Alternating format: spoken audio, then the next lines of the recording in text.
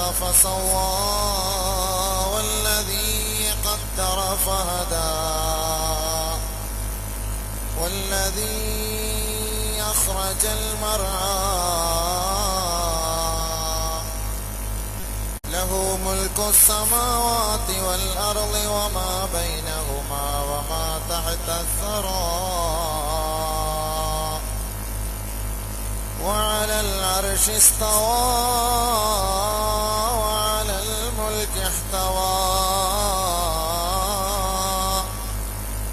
وقد وسع كل شيء رحمة وعلما.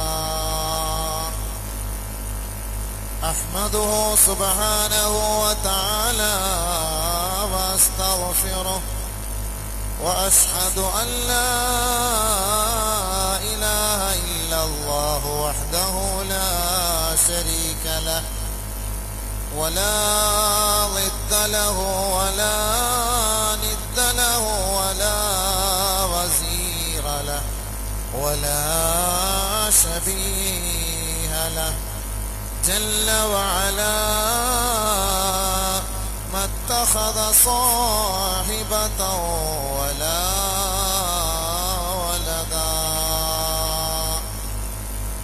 وأشهد أن سيدنا ونبينا ومولانا محمدا عبده ورسوله نبي جاءنا بالبينات والهدى. صلى الله على محمد وعلى آله وأصحابه وأزواجه وأشياعه وأتباعه. وبناته أجمعين. صلاة وسلاما دائمين متلازمين. وسلم تسليما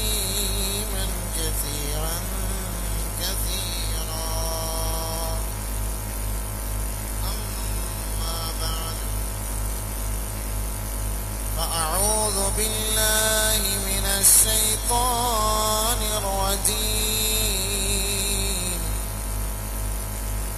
بسم الله الرحمن الرحيم.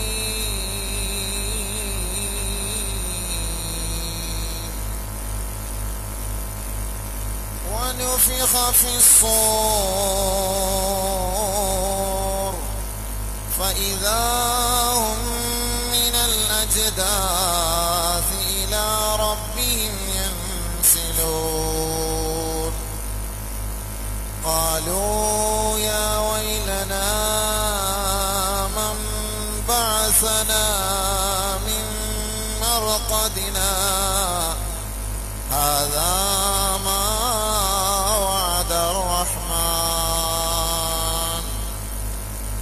وصدق المرسلون.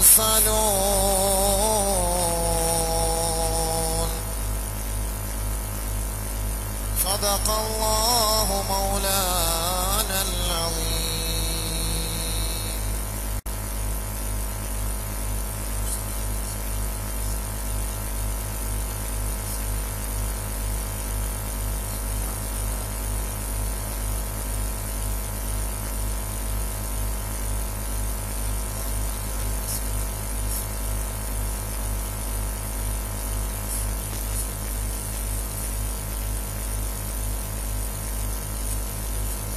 സമാദരണീയരായ ഉസ്താദുമാരെ എന്നെ ശ്രവിക്കുന്ന ആദരണീയരായ മുഅ്മിനീങ്ങളെ സഹോദരി സഹോദരന്മാരെ ഉലമാക്കളെ ഉമറാക്കളെ വിശിഷ്ടാതിഥികളെ അസ്സലാമു വലൈക്കും വറഹമത്തല്ലാഹി തആല വബറകാത്തു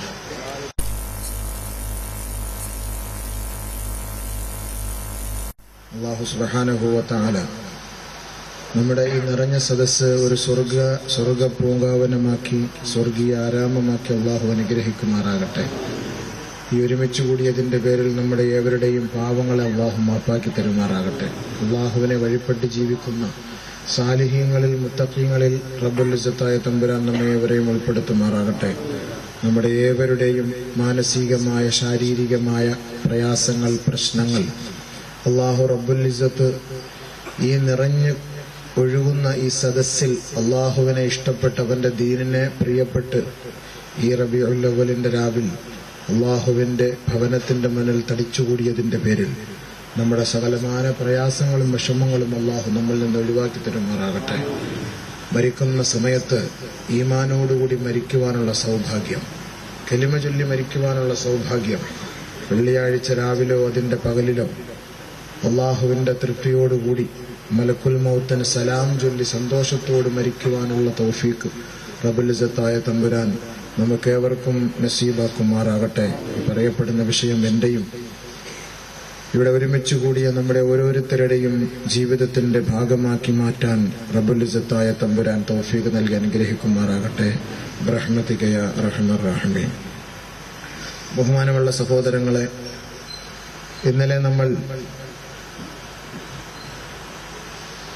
മലക്കുകൾ ഒരു മനുഷ്യൻ മരിക്കുകയും മരിക്കുന്നതിന് മുന്നോടിയായി അവനെ കബറിലേക്ക് കൊണ്ടുവെക്കപ്പെടുന്ന ദിവസമയം വരെ അവനോട് മലക്കുകൾ സംസാരിക്കുന്ന സംസാരം. ഓരോ മലക്കുകളും അഞ്ച് മലക്കുകൾ. അള്ളാഹു സുബാനുഭവത്താല അഞ്ച് മലക്കുകളെ നിയോഗിക്കുകയും അതിൽ ഓരോ മലക്ക് അവനോട് ഓരോ സന്ദർഭത്തിൽ സംസാരിക്കുന്ന ആ രംഗമാണ് നമ്മൾ ഇന്നലെ ചർച്ച ചെയ്തു വന്നത്. രണ്ട് മൂന്ന് മലക്കുകളുടെ കാര്യം നമ്മൾ ചർച്ച ചെയ്തു. രണ്ട് മലക്കുകളുടെ കാര്യം നമ്മളിവിടെ ചർച്ച ചെയ്തു. മരണത്തെ മുന്നിൽ കണ്ട് ജീവിക്കുന്ന ഞാനും നിങ്ങളും മരിക്കുന്ന സമയത്ത് ഇതുപോലുള്ള സംഭവങ്ങളൊക്കെ ഉണ്ടാകുമെന്ന് അള്ളാഹുവിന്റെ റസൂൽ നമുക്ക് അറിയിച്ചു തരുമ്പോൾ ആ ഹദീഫിന്റെ വഴികളിലൂടെ വീതികളിലൂടെ എന്നെയും നിങ്ങളെയും ഒന്ന് തെളിച്ചു കൊണ്ടുപോവുക എന്നുള്ളതാണ് നമ്മുടെ ഇതുപോലുള്ള അഴിമിന്റെ സദസ്സുകൊണ്ടുള്ള ലക്ഷ്യം. അള്ളാഹു സുബാനുഭവ താല അവന്റെ തൃപ്തിപ്പെട്ട അവൻ ഇഷ്ടപ്പെട്ട അവസ്ഥയിലേക്ക് അള്ളാഹു എത്തിക്കുമാറാകട്ടെ ബഹുമാനമുള്ള സഹോദരങ്ങളെ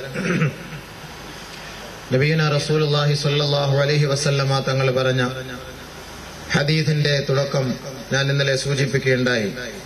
ഇതാക്കാൻ ഇബ്നു ആദം ആദമിന്റെ മകൻ ഫീ സിയാഖിൽ മൗത്ത്. മരണത്തിലേക്ക് അടുക്കുന്ന സമയം അവൻ മരണത്തിനോടടുത്ത സമയം മരണത്തിലേക്ക് അവനെ മലക്കുൽ മൗത്ത് ക്ഷണിക്കുമ്പോ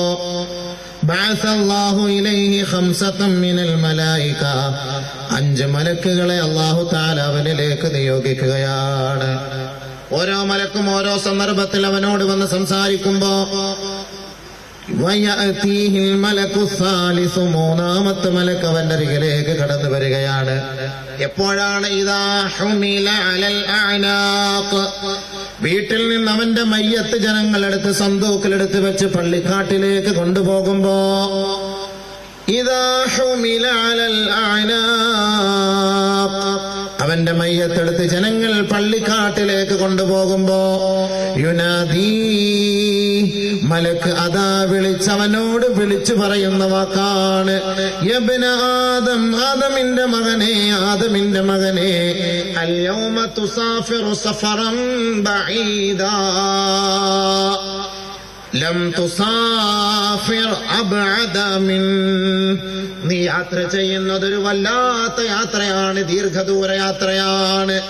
വളരെ വിദൂരത്തിലുള്ള യാത്രയാണ്. അതേപോലെ ഒരു യാത്ര നീ നിന്റെ ജീവിതത്തിൽ ചെയ്തിട്ടേ ഇല്ല. ആ ഒരു യാത്രയ്ക്കാണ് നിന്റെ തുടക്കം എന്ന്. ആ മൂന്നാമത്തെ മലക്ക് വന്ന് അവന്റെ ചെവിയിൽ ഓതുമെന്ന് ഹബീബുന റസൂലുള്ളാഹി. എത്രയോ യാത്രകൾ നമ്മൾ ചെയ്യുന്നവരാണ്. ദിവസം തോറും എത്രയോ യാത്രകൾ നമ്മൾ ചെയ്യുന്നവരാണ്. പക്ഷെ ഏറ്റവും വലിയ ഒരു യാത്രയാണ് ഒരു അനന്തമായ ഒരു യാത്ര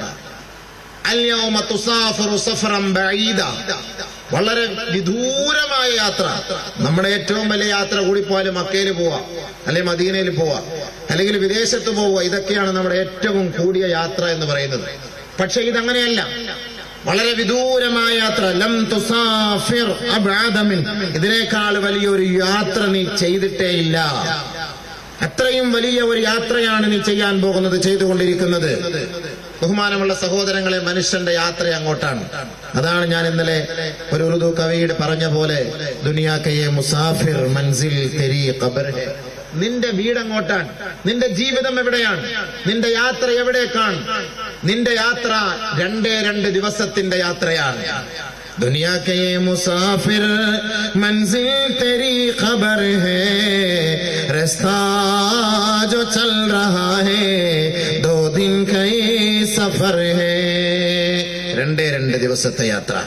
രണ്ടേ രണ്ട് ദിവസത്തെ യാത്ര ഈ യാത്രയാണ് നമ്മുടെ ജീവിതത്തിൽ നമ്മുടെ മുന്നിലുള്ളത് നമ്മൾ നോക്കുമ്പോൾ അറുപത് വയസ്സുകാരൻ എഴുപത് വയസ്സുകാരൻ തൊണ്ണൂറ് വയസ്സുകാരൻ നൂറ് വയസ്സുകാരനൊക്കെ നമ്മുടെ നാട്ടിൽ ജീവിച്ചിട്ടുണ്ടല്ലോ പിന്നെ എങ്ങനെയാണ് ഈ രണ്ടേ രണ്ട് ദിവസത്തെ യാത്ര وإن يوما عند ربك كألف سنة مما تعدون അള്ളാഹുവിങ്കൽ ഒരു ദിവസത്തിന്റെ ദൈർഘ്യം എന്ന് പറയുന്നത് നമ്മൾ ഇവിടെ ഉണ്ടെന്ന ആയിരം വർഷമാണ് ആയിരം വർഷമാണ് അള്ളാന്റെ അടുക്കൽ ഒരു ദിവസം ഓർത്തുകൊള്ളുക. നമസ്കാരമില്ല ഇബാദത്തില്ലാതെ കഴിയുന്നവരെ നരകത്തിലേക്കിട്ട് കത്തിക്കുമ്പോ ആ നരകത്തിൽ യുഗങ്ങളോളം അവർ കഴിയേണ്ടി വരും. നഴൂതുമില്ല അള്ളാഹു കാത്തിരക്ഷിക്കുമാരാകട്ടെ യുഗങ്ങളോളം ആ നരകത്തിൽ കഴിയേണ്ടി വരുമെങ്കിൽ അവിടുത്തെ ഒരു ദിവസം നമ്മൾ എണ്ണുന്ന ആയിരം വർഷമാണ്. അങ്ങനെയാണ് കണക്ക് കൂട്ടുക.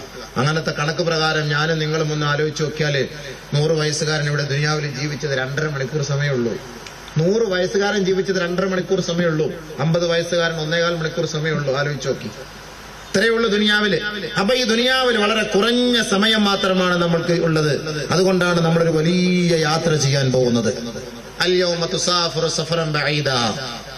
ദുനിയാ കെ യേ മുസാഫിർ ഏ യാത്രക്കാര മൻസിൽ തെരി ഖബർ നിന്റെ വീട് എവിടെയാണ്? നിന്റെ വീട് എവിടെയാണ്? എന്റെ വീട് പട്ടത്തിമുക്കെന്നോ? എന്റെ വീട് ചങ്ങനാശ്ശേരി എന്നോ എന്റെ വീട് ഇരുപ്പാന്നൊന്നും പറയാൻ പറ്റൂല. എന്റെ വീട് ഖബർ ഹേ. ഖബറാണ് എന്റെ വീട്. യഥാർത്ഥത്തിലുള്ള വീട് അവിടെ തന്നെയാണ്. യഥാർത്ഥത്തിലെ വീട് അവിടെ തന്നെയാണ്. എന്റെ വീട് ഖബറാണ് ഖബറാണ്. ആ ഒരവസ്ഥയാണ്. ബഹുമാനമുള്ള സഹോദരങ്ങൾ എല്ലാവരും അങ്ങനെ ആഗ്രഹിക്കുന്നു. എല്ലാവരും അങ്ങനെ വിശ്വസിക്കാറുണ്ടല്ലോ. എന്റെ ദേശം ഇവിടെയല്ല. ഇവിടെ ഞാൻ പരദേശിവാസിയാണല്ലോ. അക്കരയാണ് എന്റെ ശാശ്വത നാട്. അവിടെ എനിക്കൊരുക്കുന്ന ഭവനമുണ്ട്. ക്രൈസ്തവ സഹോദരങ്ങൾ വിശ്വസിക്കുന്നു. എന്റെ വീട് ഇവിടെയല്ല. എല്ലാരും വിശ്വസിക്കുന്നുണ്ടല്ലോ. നബി സല്ലല്ലാഹു അലൈഹി വസല്ലം തങ്ങൾ പറഞ്ഞില്ലേ കുൻ ഫി ദുനിയ കഅന്നക ഗരീബ് ഔ ആബിറു സബീൽ. ഒരു യാത്രക്കാരനെ പോലെ നീ കഴിഞ്ഞുകൂട്? ഏത് സമയത്തും നീ യാത്ര കഴിഞ്ഞാൽ നീ ഇവിടുന്ന് പോകേണ്ടി വരും.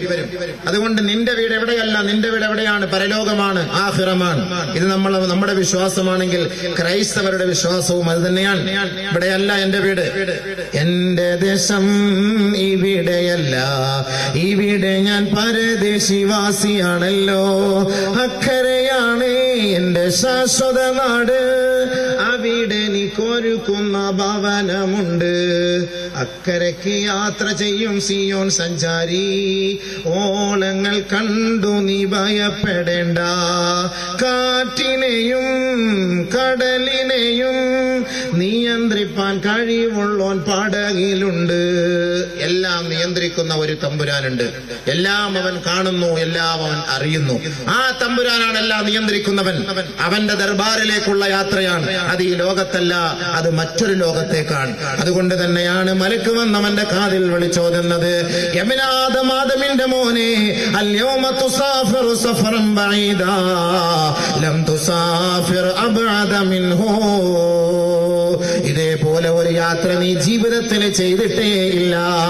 ഒരനന്തമായ ഒരു യാത്രയാണ് വല്ലാത്ത ദുർഘടം പിടിച്ച യാത്രയാണ് ബഹുമാനപ്പെട്ട ഉസ്മാനബിന് ഈ യാത്രയെ ഓർത്തുകൊണ്ട് കബറിന്റെ അരികിൽ പോയി നിന്നിട്ട് മഹാനായ ഉസ്മാനബിന് അഫാർ അലി അള്ളാഹു അന്ന് പൊട്ടിക്കരയാറില്ലേ? മഹാനായ ഉസ്മാനബിന് അഫാർ അലി അള്ളാഹു താലാൻഹു കബരി കബറിന്റെ നിന്നിട്ട് സുമ്മ ബക്കാ ബുഖാൻ മഹാനായ ഉസ്മാൻ ഇബ്നു അഫ്ഫാൻ പൊട്ടിക്കരയുകയാണ്. ഫഖീല ലഹു അദ്ദേഹത്തോട് ചോദിക്കപ്പെട്ടു അത്രേ എന്താണ് ചോദിച്ചത്? അങ്ങയുടെ മുന്നിൽ തദ്ഖുറത്തുൽ തദ്ഖുറത്തുൽ ജന്ന വന്നാർ. ഫലാ തബ്കീ.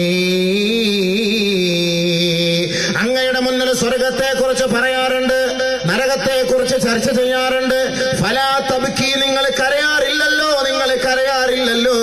പക്ഷെ ഈ ഖബറിനെ ഓർത്ത് നിങ്ങൾ കരയുകയാണ്. ഖബറിന്റെ അരികിൽ വന്ന് നിന്ന് നിങ്ങൾ കരയുകയാണ്. മഹാനായ സുമാനബിൻ അള്ളാഹു താലാന്ന് പറയുകയാ ഇതൊരു വല്ലാത്ത യാത്രയാണ് വല്ലാത്ത യാത്രയാണ്. സമയത്ത് റസൂലുള്ളാഹി സ്വല്ലല്ലാഹു അലൈഹി വസല്ലമ യഖൂൽ അല്ലാഹുവിന്റെ റസൂൽ പറയുന്നത് ഞാൻ കേട്ടിട്ടുണ്ട്. സഹാബ അൽ ഖബറു അവ്വലു മനാസിലിൽ ആഖിറ. ആഖിറത്തിലേക്കുള്ള പ്രഥമ ചുവടുവെപ്പാണ് ഈ ഖബറെന്ന് അള്ളാന്റെ റസൂൽ പറയുന്നത് ഞാൻ കേട്ടിട്ടുണ്ട്. ആഖിറത്തിലേക്കുള്ള പ്രഥമമായ ചുവടുവെപ്പാണ്. ആരാണോ ആ ഖബറിൽ നിന്ന് രക്ഷപ്പെട്ടത് വിജയിച്ചത്. അതിന് പിന്നീട് അവന്റെ യാത്ര വളരെ എളുപ്പമാണ് എളുപ്പമാണ്. ആർക്കാണോ ആ ഖബറിൽ നിന്ന് രക്ഷയില്ലാത്തത് രക്ഷയില്ലാത്തത്? അവന്റെ പിന്നീടുള്ള യാത്രയെല്ലാം ദുർഘടം പിടിച്ച യാത്രയാണ് ദുർഘടം പിടിച്ച യാത്രയാണ്. അതുകൊണ്ടൊരു വല്ലാത്ത ദൂരമാണ് വല്ലാത്ത യാത്രയാണ്. അള്ളാന്റെ റസോൽ പറയുന്നത് ഞാൻ കേട്ടിട്ടുണ്ട് സഹാബത്തെ അതുകൊണ്ട് സ്വർഗത്തെ കുറിച്ച് പറയുമ്പോൾ ഞാൻ കരയാറില്ല നരകത്തെ കുറിച്ച് പറയുമ്പോൾ കരയാറില്ല. കാരണം എന്റെ കണ്ണുകൊണ്ട് ആ സ്വർഗത്തെയോ നരകത്തെയോ ഞാൻ കണ്ടിട്ടേ ഇല്ല മറിച്ച് ഈ കബർ ഞാൻ എന്റെ കണ്ണുകൊണ്ട് കാണുന്നു സാബ. ഇതേപോലെ മണ്ണറയിൽ ഞാൻ വന്ന് കിടക്കേണ്ടതാണ്. ഇതൊരു വല്ലാത്ത ദുർഘടം പിടിച്ച വീടാണ് ദുർഘടം പിടിച്ച വീടാ ആദ്യ രാത്രിയിൽ അവൻ മനസ്സിലാക്കും അവൻ ആ ദുർഘടം പിടിച്ച വീടിൽ അവന് സന്തോഷം ലഭിച്ചു. ഫമാബാദഹു ഐസർ പിന്നീട് അവൻ ദുഃഖിക്കേണ്ടതില്ല. അതുകൊണ്ട് എനിക്കറിയില്ല സഹാബ എന്റെ ആദ്യ ദിനം എന്തായിരിക്കും? എന്റെ ആദ്യ രാത്രി എന്തായിരിക്കും? ഈ ഖബറിലേക്കുള്ള യാത്രയിൽ എന്റെ അവസ്ഥ എന്താണെന്ന് എനിക്കറിയില്ല സഹാബത്തെ. അതുകൊണ്ടാണ് ഈ ഖബർ കാണുമ്പോൾ ഞാൻ പൊട്ടിക്കറിയുന്നതെന്ന് മഹാനായ ഉസ്മാൻ അഫ്ഫാർ റളിയല്ലാഹു തആല അന്ന് പറഞ്ഞുവെങ്കിൽ ബഹുമാനമുള്ളവരെ അത്താഹു സലിം റളിയല്ലാഹു എന്നെ പോലും പറഞ്ഞില്ലേ? മരിക്കാറായി കിടക്കുന്ന സമയത്ത് പൊട്ടി പൊട്ടി കരഞ്ഞിട്ട് പറയുകയാണ് എന്താണ് അങ്ങ് കരയുന്നത്? എന്താണ് അങ്ങ് കരയുന്നത്? അള്ളാഹു അങ്ങേക്ക് ആഫിയത്ത് തരട്ടെ എന്ന് പറഞ്ഞപ്പോ ഇല്ല ഇല്ല. എനിക്ക് ആഫിയത്തിന് വേണ്ടിയല്ല ഞാൻ കരയുന്നത് സാപത്തെ ഞാൻ എന്റെ മുന്നിൽ ഞാൻ കിടക്കാൻ പോകുന്ന ആരടി മണ്ണിന്റെ ഇരുണ്ട തുരുത്ത് കാണുകയാണ്.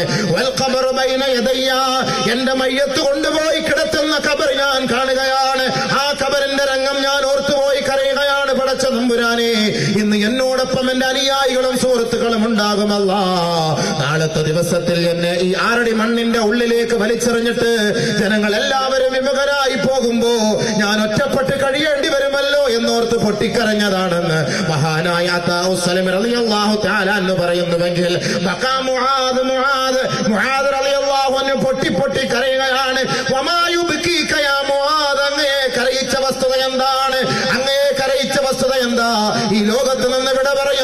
കരയുകയാണോ? മരണപ്പെടുന്നതോർത്ത് കരയുകയാണോ? ആയുസ് തീർന്നു പോയതോർത്ത് കരയുകയാണോ? എന്ന് സഹാബത്ത് ചോദിക്കുമ്പോ ഇല്ല ഇല്ല. ഇന്നീലം ദുനിയാവിൽ കൂടുതൽ നാൾ ജീവിക്കാൻ എനിക്ക് മോഹമില്ല സഹാബത്തെ. ദുനിയാവിൽ ജീവിക്കാൻ എനിക്ക് കൊതിയില്ല സഹാബത്തെ. എനിക്ക് കൃഷി ഇറക്കാൻ പാടത്ത് പണിയെടുക്കാൻ എനിക്ക് കൊതിയില്ല സഹാബ.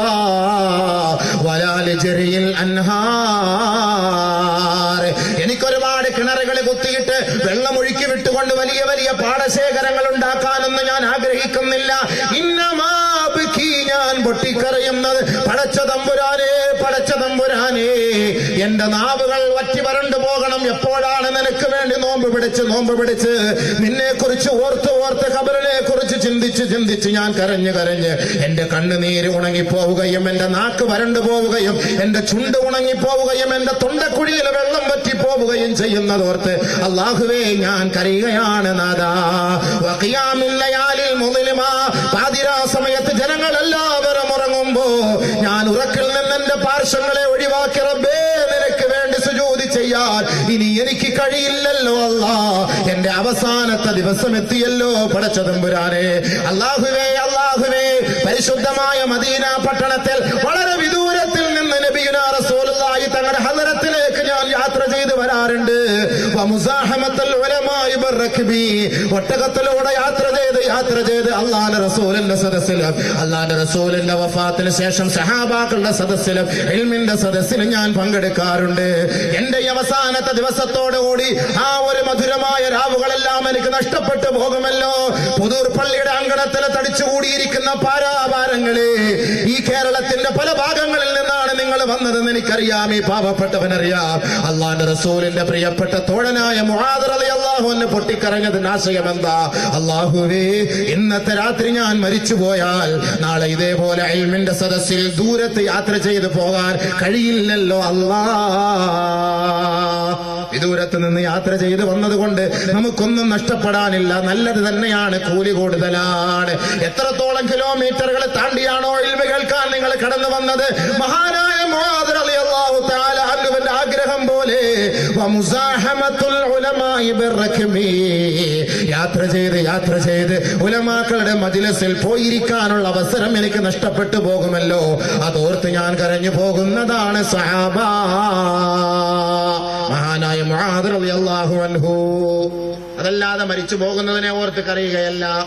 മരണത്തെ ഓർത്ത് കരയുകയല്ല. ഒരിക്കൽ മരിക്കും അത് ഉറപ്പ് തന്നെയാണ് സംശയമില്ല. അതുകൊണ്ട് ബഹുമാനമുള്ളവരെ മൂന്നാമത്തെ മലക്ക് വന്നിട്ട് പറയുകയാണ് ആദമാദമിന്റെ മോനെ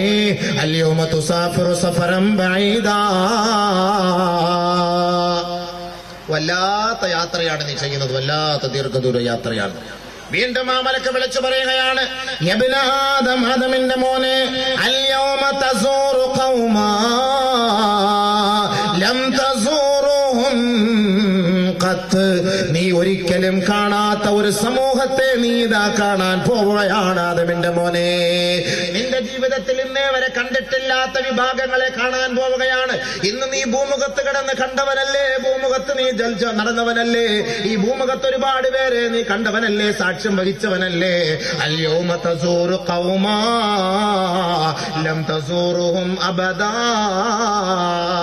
ഇതേപോലുള്ള ആളുകളെ നീ കാണുകയേ ഇല്ല. അത്രത്തോളം വലിയ ഒരു സംഘങ്ങളെ നീ കാണാൻ പോവുകയാണ്. അവരുമായി ഏറ്റുമുട്ടാൻ പോവുകയാണ്. ആരടി മണ്ണിലേക്ക് നിന്നെ കൊണ്ടുവെക്കുമ്പോ നിന്റെ അരികിലേക്ക് കടന്നു വരുന്ന ഒരു കൂട്ടരോട് ഒരു കൂട്ടർ നിന്നോട് ചോദിക്കുകയാണ് വയസ്സാലു റജുല.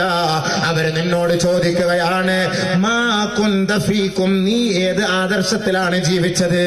ഏത് ആദർശത്തിലാണ് ജീവിച്ചത്? ലാ. എന്ന വാക്കാണ് നിന്റെ നാവിലൂടെ വന്നതെങ്കിൽ അവൻ പറയുകയാ يسأل فقلته فيصنعون فصنعته. പറയുമ്പോ വിശ്വാസമില്ല.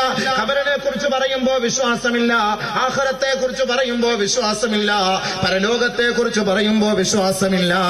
പക്ഷെ ഇവൻ ആ ഖബറിലേക്ക് ഇറക്കി വെക്കുമ്പോ ഇവന്റെ മയ്യത്തിന്റെ അരികിൽ നിന്ന് മലക്കുകളെ ചോദിക്കുന്ന വേളയിൽ ആ മലക്കിനോട് ഇവൻ പറയുകയാണ് ജനങ്ങളെല്ലാം പറഞ്ഞതുപോലെ ഞാനും പറഞ്ഞു.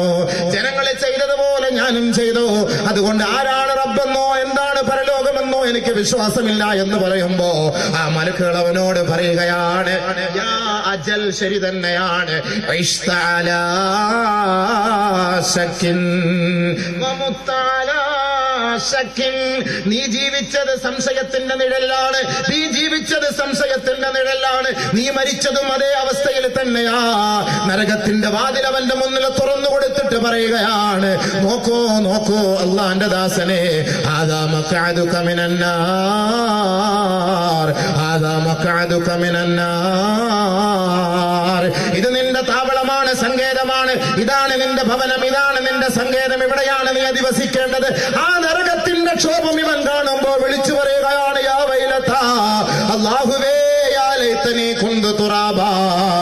എന്നെ നീ ഒന്ന് മണ്ണാക്കി മാറ്റിയിരുന്നെങ്കിൽ ഞാനൊന്ന് മരിച്ചു പോയിരുന്നെങ്കിൽ.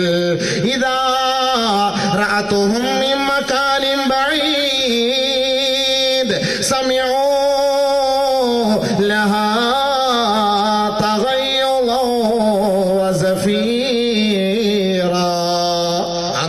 നരകത്തിന്റെ ക്ഷോഭം ഇവൻ കാണുമ്പോ ആ നരകത്തിന്റെ ഇരമ്പൽ ഇവൻ കാണുമ്പോ ഇവൻ പൊട്ടി പൊട്ടി കരയുകയാണ് ഇവൻ പൊട്ടി പൊട്ടി കരയുകയാണ് എങ്ങനെയെങ്കിലും ഇതിൽ നിന്ന് രക്ഷപ്പെടാൻ വല്ല മാർഗമുണ്ടോ.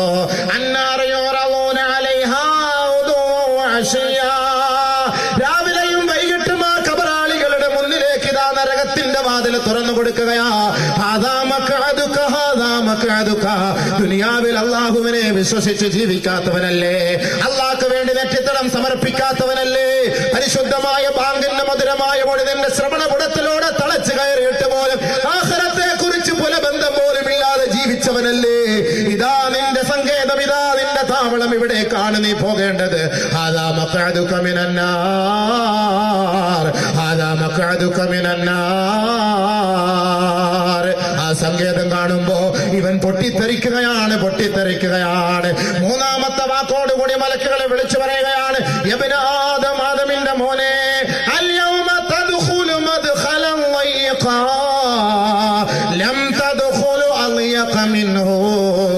നിന്നെ ഇപ്പോൾ പ്രവേശിപ്പിക്കുന്നത് കുടിസായ ഒരു മുറിയിലേക്കാണ് ആദമിന്റെ മോനെ. ഇതേപോലെ കുടിസായ ഒരു മുറിയിലേക്ക് നീ പ്രവേശിച്ചിട്ടേ ഇല്ല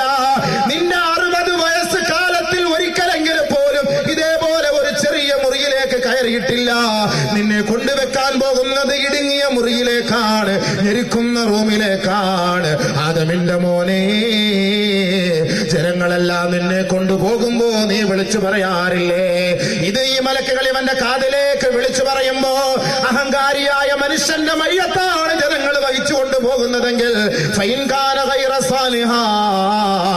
സാലിഹല്ലാത്ത മനുഷ്യനാണെങ്കിൽ അവൻ വിളിച്ചു പറയുകയാണ് യാ വൈലഹും യാ വൈലഹും ഞങ്ങളുടെ നാശമേ ഞങ്ങളുടെ നാശമേ അയിന തദ്ഹബൂന ബിഹാ അയിന തദ്ഹബൂന ബിഹാ എവിടേക്കാണ് ഞങ്ങളെ വഹിച്ചു കൊണ്ടുപോകുന്നത്? എവിടേക്കാണ് ഞങ്ങളെ വഹിച്ചു കൊണ്ടുപോകുന്നത്? അഖിറുനീ അഖിറുനീ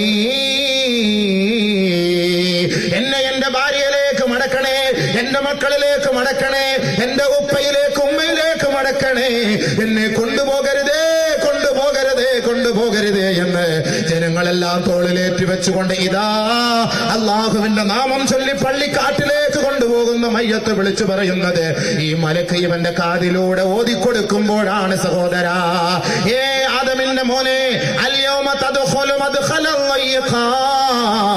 ഒരു ഞെരുക്കം പിടച്ച മുറിയിലേക്കാണ് നീ പോകുന്നതെന്ന കാര്യം ഞാനും നിങ്ങളും മറന്നുപോയില്ലേ മറന്നുപോയില്ലേ? ലോകത്തിന്റെ മുത്തല്ലേ മുഹമ്മദ് മുസ്തഫ? ലോകത്തിന്റെ നിറകുടമല്ലേ മുഹമ്മദ് മുസ്തഫ? ആ പ്രവാചകന്റെ പരിശുദ്ധമായ ജന്മദിനം ആഘോഷിക്കുമ്പോ അള്ളാന്റെ റസൂലിനെ കുറിച്ച് ലോകമെമ്പാടും ചർച്ചകൾ നടത്തുകൊണ്ടിരിക്കുമ്പോ ഹബീബായ തങ്ങളെ വാനോളം പുകഴ്ത്തിക്കൊണ്ടിരിക്കുമ്പോ പൊന്നാരനബിയുടെ ബീജത്തിൽ ജനിച്ച പൊന്നുമോൾ സൈനബ. ആ സൈനബ് വഫാത്തായപ്പോ അള്ളാന്റെ റസൂൽ ആ മയ്യത്തെടുത്ത് മുബാറക്കായ കൈകൊണ്ട് ആ കബറിലേക്ക് ഇറക്കി വെക്കുകയാണ്.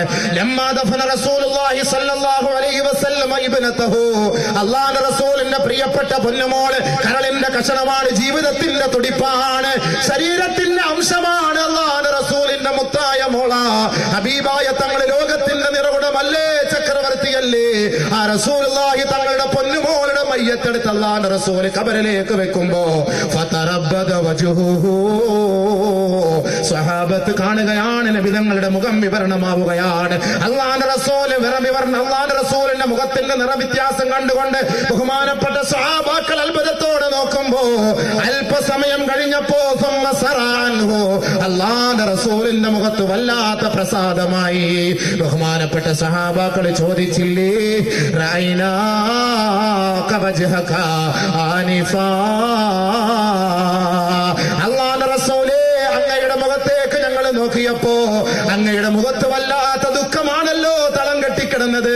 അങ്ങയുടെ പൊന്നുമോളുടെ വഫാത്തിനെ ഓർത്ത് കരഞ്ഞു പോയതാണോ ആ പൊന്നുമോളുടെ മയ്യത്തെടുത്ത് കബറിലേക്ക് കരഞ്ഞു പോയതാണോ? അവിടുത്തെ മുഖത്തിന്റെ ഭാവം കണ്ടപ്പോ ഞങ്ങൾക്ക് വല്ലാത്ത ദുഃഖമായി പോയി നബിയെ. പിന്നീട് അവിടുത്തെ മുഖത്തിന്റെ ഭാവം മാറിയപ്പോഴാണ് ഞങ്ങൾക്ക് സമാധാനമായത്. അള്ളാന്റെ റസോല പറയുകയാണ് ഇല്ല സഹാബത്തെ ഇല്ല സഹാബത്തെ. എന്റെ പൊന്നുമോൾ സൈനബിന്റെ മയ്യത്തെടുത്ത് ഞാൻ ഇടുങ്ങിയ മുറിയിലേക്ക് ആ ഞെരുക്കമുള്ള മുറിയിലേക്ക് ആറടി മണ്ണിന്റെ ഇരുണ്ട മുറിയിലേക്ക് ഞാൻ ഇറക്കി വെക്കുമ്പോ. എന്റെ പൊന്നുമോളെ കബർ വിട്ടില്ല സഹാബ. എന്റെ പൊന്നുമോളെ കബർ ഞെരുക്കുന്നത് ഞാൻ കണ്ട് സഹാബത്തെ. ആകാശഭൂമികൾ ഒന്നടങ്കം കിടുകിടാ വിരക്കുന്നതുണ്ടായി. ആ കിടുകിടാ വിരക്കുന്ന അനുഭവം എനിക്കുണ്ടായി സഹാബ. ആകാശ സകലമായ ജീവജാലങ്ങളെല്ലാം എന്റെ പൊന്നുമോളുടെ മുത- ആ ശരീരത്തെ അമർത്തുന്നത് കേട്ടപ്പോ ഞാൻ വിറച്ചുപോയി സഹാബത്തെ വിറച്ചുപോയി സഹാബത്തെ വായിമുള്ള അള്ളാഹുവാണ് സത്യം ചെയ്തിട്ടാണ് നബി തങ്ങൾ പറഞ്ഞത് എന്റെ പൊന്നുമോളെ കബർ വെറുതെ വിട്ടില്ല സഹാബ അള്ളാന്റെ റസൂല് ദുആ ചെയ്തു അള്ളാന്റെ റസൂല് ദുആ ചെയ്തു ذكرت وضعفها ذكرت ابنتي وضعفها എന്റെ പൊന്നുമോളുടെ ബലഹീനതയെ ഞാൻ ഓർത്തുപോയി സാപത്തെ അവളുടെ ജീവിതത്തിൽ വന്നുപോയ അപാകതകൾ ന്യൂനതകൾ അവളുടെ മയ്യത്ത് കബറിലേക്ക് ഇറക്കി വെച്ചപ്പോ ഞാൻ ഓർത്തുപോയി സഹാബത്തെ ഓർത്തുപോയി സഹാബത്തെ. ഞാൻ ദുആ ചെയ്തപ്പോ ആ ഖബർ അവളെ വെറുതെ വിടുകയുണ്ടായി സഹാബ. ലോകത്തിന്റെ മുത്തുമോളുടെ അവസ്ഥയാണ് ലോകത്തിന്റെ പൊന്നുമോന്റെ പൊന്നുമോളുടെ അവസ്ഥയാണ്. അള്ളാന്റെ റസൂലിന്റെ പൊന്നുമോൾക്ക് അങ്ങനെ സംഭവിച്ചുവെങ്കിൽ ആ മൂന്നാമത്തെ മലക്ക് മയ്യത്ത് കൊണ്ടുപോകുന്ന വേളയിൽ ആ മയ്യത്ത് കട്ടിൽ കിടക്കുന്ന മയ്യത്തിന്റെ ചെവിയിൽ വന്നിട്ട് പറയുകയാ മോനെ അല്ലയോ മതഹലോ. ഇന്നലെ വരെ പതിനാലഞ്ച് മുറിയിലല്ലേ നീ കിടന്നുറങ്ങിയത്? ഇന്നലെ വരെ പതിനാല് പന്ത്രണ്ട് എന്ന മുറിയിലല്ലേ കിടന്നുറങ്ങിയത്? എ സിയുള്ള മുറിയിലല്ലേ കിടന്നുറങ്ങിയത്? ഏറ്റവും നല്ല ശീതീകരിച്ച സുന്ദരമായ മുറിയല്ലേ? സന്തോഷത്തോടെ കിടന്നുറങ്ങിയില്ലേ? വിശാലമായി ഓടിച്ചാടി കളിക്കാൻ പറ്റിയ മുറിയിലല്ലേ? നീ ഉറങ്ങിയതെങ്കിൽ നീ ഇന്ന് ഉറങ്ങാൻ പോകുന്ന മുറിയെ കുറിച്ച് ആ മൂന്നാമത്തെ മലക്ക് അവന്റെ കാതിൽ ഓതിക്കൊടുക്കുകയാ. അല്ലയോ തദ്ഖലു മദ്ഖല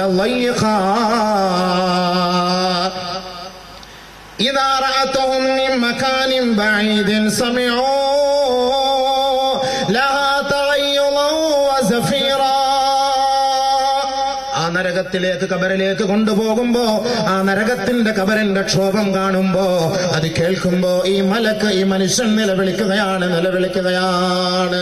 അവനെ കൂട്ടിക്കെട്ടി ആ കബറിലേക്ക് ഇടാൻ കൊണ്ടുപോകുന്ന രംഗമാണ് രംഗമാണ്. ഈ മൂന്നാമത്തെ മലക്ക് ഇവന്റെ കാതിൽ വിളിച്ചോതി കൊടുക്കുകയാ. ഇതുപോലെ ഒരു യാത്ര നീ ചെയ്യാറേ ഇല്ല. ഇതുപോലെ ഒരു ഇടുങ്ങിയ മുറി നീ കാണാറേ ഇല്ല. ഇതിനു മുമ്പ് നീ നിന്റെ ജീവിതത്തിൽ കണ്ടിട്ടേ ഇല്ല. അതിനാണ് നമ്മൾ ദ്വാ ചെയ്യുന്നത് അള്ളാഹുവേ കബറുകളെ വിശാലമാക്കി തരാൻ വേണ്ടി നന്മകൾ ചെയ്തുകൊണ്ട് നന്മകൾ ചെയ്തുകൊണ്ട് ഇടുങ്ങിയ കബറിന്റെ വിശാലതയ്ക്ക് വേണ്ടി നമ്മൾ ചെയ്യുന്നുവെങ്കിൽ അള്ളാഹു റബ്ബുൽ ഇസ്സത്തിനല്ലാതെ ഒരാൾക്കും അതിന് സാധ്യമല്ല സാധ്യമല്ല. നാലാമത്തെ മലക്ക് വരികയാണ് നാലാമത്തെ മലക്ക് വരികയാണ് നാലാമത്തെ മലക്ക് വന്നുകൊണ്ട് വിളിച്ചു പറയുകയാണ് എപ്പോഴാ? നാലാമത്തെ മലക്ക് അവന്റെ അരികിലേക്ക് കടന്നു വരികയാണ് ഇതാ ഖബരിഹി. അവന്റെ മയ്യത്ത് കബറിലേക്ക് എടുത്തു വെക്കുമ്പോ അവന്റെ മയ്യത്ത് കബറിലേക്ക് എടുത്തു വെക്കുമ്പോ എല്ലാവരും അതാ മയ്യത്ത് പിടിച്ചാറടി മണ്ണിന്റെ ഉള്ളിലേക്ക് എടുത്തു വെക്കുകയാ. അവസാനത്തെ രംഗമാണ് അവസാനത്തെ രംഗമാണ്. മലക്കോ വയുനാദീ അവന്റെ അരികിലേക്ക് കടന്നു വരികയാണ്. മലക്കുകൾ കടന്നു വന്നുകൊണ്ട് അവന്റെ ചെവിയിലേക്ക് മന്ത്രിച്ചു ഓതുകയാണ്. യമിനാദം ആദമിന്റെ മോനെ തംശി على ظهري വമസീറുക ഇലാ بطني എന്റെ മുകളിലൂടെ അഹങ്കരിച്ച് നടന്നവനല്ലേ? എന്റെ മുകളിലൂടെ ഓടിച്ചാടി നടന്നവനല്ലേ? എന്റെ മുകളിലൂടെ നീ സഞ്ചരിച്ചവനല്ലേ? ഭൂമി നിനക്ക് താങ്ങായി ആദ്യമായി ഒരു മനുഷ്യനോട് സംസാരിക്കുന്നത് അവന്റെ അള്ളാന്റെ റസൂൽ പറയുമ്പോ ഈ ആദമിന്റെ മകന്റെ മയ്യത്ത് ഖബറിലേക്ക് ഇറക്കി വെക്കുമ്പോ ആ മണ്ണ് വിളിച്ചു പറയുകയാണ് ആദ്യമായ ഒരു മനുഷ്യന്റെ മയ്യത്ത് ഖബറിലേക്ക് വെക്കുമ്പോ അവനോട് ആദ്യമായി സംസാരിക്കുന്നത് ഖബറാണ് ഖബറാണ് ഖബറാണ്. ആ ഖബറെന്ന ഭയങ്കരമായ വീടിന്റെ ഓരോ ഭിത്തികളും അതാ പ്രകോപി പ്രകോപനം കൊണ്ട് തുളുമ്പുകയാണ് ദേഷ്യം കൊണ്ട് വിറക്കുകയാണ് പ്രകോപിക്കുകയാണ്. കണ്ട മാത്രയിൽ ശോഭത്തോടെ വിളിച്ചു പറയുകയാണ് യബിനാദമാദമിന്റെ മോനെ തംശീ അലാ എന്റെ ഭൂമുഖത്തോടെയല്ലേ മൽജഇ. നീ അവസാനം എന്നിലേക്കല്ലേ എന്റെ വയറ്റിന്റെ ഉള്ളിലേക്കല്ലേ നീ കടന്നു വരിക. തങ്ങൾ പറയുന്ന ഒരു ഹദീസ്. ഇബ്നു അബ്ബാസ് റിപ്പോർട്ട് ചെയ്യുന്ന ഹദീസിലൂടെ അല്ലാഹുവിന്റെ റസൂൽ പറയുകയാ അർഹമു അർഹമു അർഹമുൽ അർഹമുൽ മൗതി ജല്ല ജലാലുഹു. ഒരു മനുഷ്യൻ ഒരു മനുഷ്യൻ മരിച്ചു പോകുമ്പോ അവൻ മയ്യത്ത് അവന്റെ മയ്യത്ത് പള്ളിക്കാട്ടിലേക്ക് ഇറക്കി വെക്കുമ്പോ അവൻ ഏറ്റവും കൂടുതൽ ഇഷ്ടപ്പെടുന്ന സമയം അള്ളാഹുവിന്റെ കാരുണ്യമാണ്. പടച്ച നമ്പുരാന്റെ കാരുണ്യമാണ്. ആ ആദമിന്റെ മകൻ ഇഷ്ടപ്പെടുന്നതെങ്കിൽ ആദമിന്റെ മകന്റെ മയ്യത്ത് കബറിലേക്ക് എടുത്ത് വെക്കുന്ന സമയത്ത് ഇതാ നബിയുനാ റസൂലുള്ളാഹി തങ്ങൾ പറയുകയാണ് ഈ ഭൂമുഖത്തുകൂടെ നടക്കുന്ന മനുഷ്യൻ ആ കബറിനെ കുറിച്ച് ചിന്തിക്കുന്നവനായാൽ ആ സ്വർഗത്തിന്റെ പൂങ്കാവനമായി ആ കബറിനെ അള്ളാഹു മാറ്റിമറിക്കുമെന്ന് നബിയുനാ റസൂലുള്ളാഹി. കബറിന്റെ ഓരത്തോടെ സഞ്ചരിക്കുന്നവരെ ഇപ്പൊ ദിവസം തോറും എത്ര പുരുഷന്മാരാണ് എത്ര സ്ത്രീകളാണ് പുതൂർ പള്ളിയുടെ മുന്നിലൂടെ സഞ്ചരിക്കുന്നത്. ആ ഭാഗത്ത് നോക്കിയാലും ഖബറാണ് ഇപ്പുറത്ത് നോക്കിയാലും കബറാ നിങ്ങൾ കയറുന്ന സ്ഥലവും ഇറങ്ങുന്ന സ്ഥലവും ഖബറാണ് ഖബറാണ്. ഒരിക്കലെങ്കിലും ആ കബറിന്റെ ഭാഗത്തേക്ക് നോക്കി നിന്നുകൊണ്ട് നീ അയവിറക്കാറുണ്ടോ? അള്ളാഹുവേ നാളത്തെ രാത്രിയിൽ ഞാൻ ഈ കാട്ടിലാണ് ഒറ്റയ്ക്ക് കിടക്കേണ്ടത്. അള്ളാഹ് റസൂൽ പറയുകയാണ് എല്ലാ ദിവസവും കബറിനെ കുറിച്ച് ചിന്തിക്കുന്ന മനുഷ്യൻ സമന്നത്തരം ദിക്രിഹി. ആരാണോ കബറിനെ കുറിച്ച് അധികമായി അമിതമായി ചിന്തിക്കുന്നത് ഓർക്കുന്നത് അവന്റെ മയ്യത്ത് കബറിലേക്ക് കൊണ്ടുവെക്കുമ്പോ അള്ളാഹു റബ്ബുൽ ഇസ്സത്ത് അവനോട് ഏറ്റവും കൂടുതൽ കരുണ കാണിക്കുന്നത്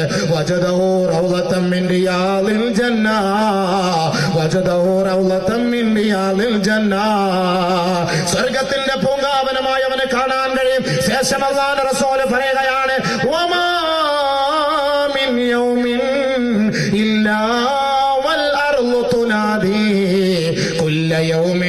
ബിഖംസി കലിമാത്ത് ഒരു ദിവസം പോലും ഇല്ലാതെ ഒരു ദിവസം പോലും ഇല്ലാതെ ഈ കാണുന്ന പള്ളിക്കാട്ടിലെ കബർസ്ഥാൻ ഉണ്ടല്ലോ. ഈ കബർസ്ഥാൻ എല്ലാ പറയുമെന്ന് ലോകത്തിന്റെ മുത്ത് മുഹമ്മദ് മുസ്തഫ. അള്ളാന്റെ റസൂൽ സല്ലല്ലാഹു അലൈഹി വസല്ലമ തങ്ങൾ പറഞ്ഞ വാക്കാട്. ഇബ്നു അബ്ബാസ് റളിയല്ലാഹു അൻഹു റിപ്പോർട്ട് ചെയ്ത ഹദീസാണ്. ഒരൊറ്റ മയ്യത്ത് ഒരൊറ്റ മക്ബറ പോലുമില്ല. ഒരൊറ്റ ശ്മശാനം പോലുമില്ല. ഒരൊറ്റ പള്ളിക്കാട് പോലുമില്ല. ഇല്ലാ കുല്ല യൗമ എല്ലാ ദിവസവും അഞ്ചു പ്രാവശ്യം ഒരു കബർ വിളിച്ചു പറഞ്ഞിട്ടല്ലാതെ ഒരാളുടെ മയ്യത്ത് പോലും ആ കബറിലേക്ക് ഇറക്കി വെക്കാൻ കഴിയില്ല എന്ന് അള്ളാന്റെ റസൂൽ പറയുമ്പോ ആ കബർ വിളിച്ചു പറയുകയാ മോനെ തംശി അലാപത്തിലി ഓ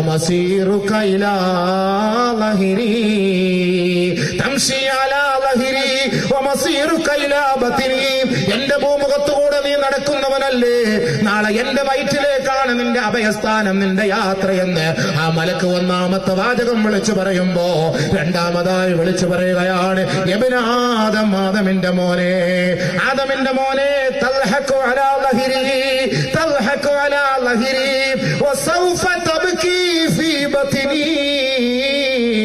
ആദമിന്റെ മോനെ ഈ ഭൂമുഖത്ത് നീ ചിരിക്കുകയല്ലേ ചിരിക്കുകയല്ലേ പൊട്ടിച്ചിരിക്കുകയല്ലേ ചിരിക്കുകയല്ലേ കോപ്രായങ്ങൾ കണ്ടിട്ട് നീ ചിരിക്കുകയല്ലേ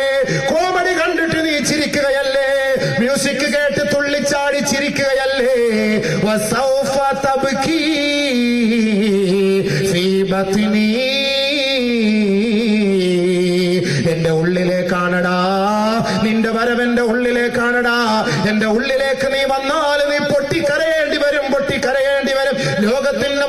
മുഹമ്മദ് മുസ്തഫ തങ്ങൾ ഒരിക്കൽ മദീന പള്ളിയുടെ ഉമ്മറപ്പടിയിലൂടെ നടന്നു പോകുമ്പോ മഹാന്മാരായ സഹാബാക്കൾ ചിരിക്കുന്നത് കണ്ട് അത്ഭുതപ്പെട്ടു പോയി. അള്ളാന്റെ റസൂലിന്റെ സഹാബത്ത് ചിരിക്കുകയാണ്.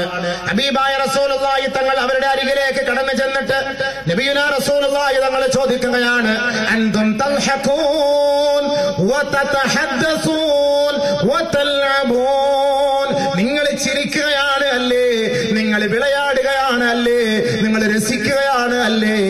ദുനിയാവിന്റെ സംസാരങ്ങളുമായി കഴിഞ്ഞുകൂടുകയാണ് അല്ലേ? വരാക്കും ജഹന്നം. ഒന്ന് പുറകോട്ടൊന്ന് നോക്കണേ. നിങ്ങളെ പ്രതീക്ഷിച്ചിരിക്കുന്നത് നരകമാണ് നരകമാണ്. നബിയുന റസൂലുള്ളാഹി തങ്ങൾ സഹാബത്തിനോട് പറയുകയാണ് അഅലമു മാ സത്യം. ഞാൻ അറിഞ്ഞതുപോലെ നിങ്ങൾ അറിഞ്ഞിരുന്നുവെങ്കിൽ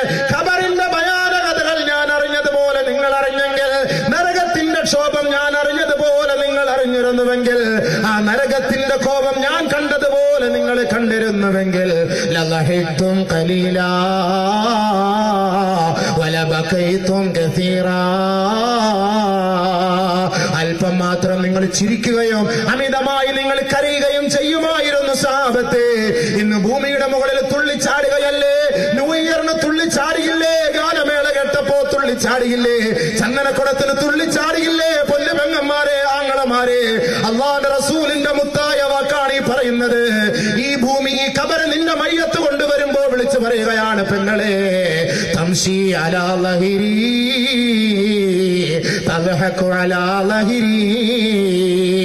എന്റെ മോമുഖത്തോടെ നീ ചിരിച്ചു നടന്നവനാണ്. നിനക്ക് ചിരി പകർന്നു തരാൻ നൂറുകണക്കിന് കൂട്ടുകാരാ. ഒരു ക്ലാപ്പിംഗ് ചെയ്യാൻ കൂട്ടുകാരാ പക്ഷേ ആരുടെ മണ്ണിലേക്ക് നിന്റെ മയ്യത്തെടുത്ത് വെക്കുമ്പോ എല്ലാവരും മടങ്ങിപ്പോകും സഹോദരാ. അപ്പോൾ നിന്റെ ജീവിതം തബുക്കി. നീ കരയലാണ് കരയലാണ്. രണ്ടാമത്തെ വാക്ക് വിളിച്ചു പറയുമെന്ന് നബിയുന റസൂലുള്ളാഹി. നല്ലപോലെ ചിന്തിക്കണം. എല്ലാ ദിവസവും അഞ്ചു വാക്ക്. ഖബർ വിളിച്ചു പറയാതെ ഒരു ദിവസം പോലും ഇല്ല എന്ന് നബിയുന റസൂലുള്ളാഹി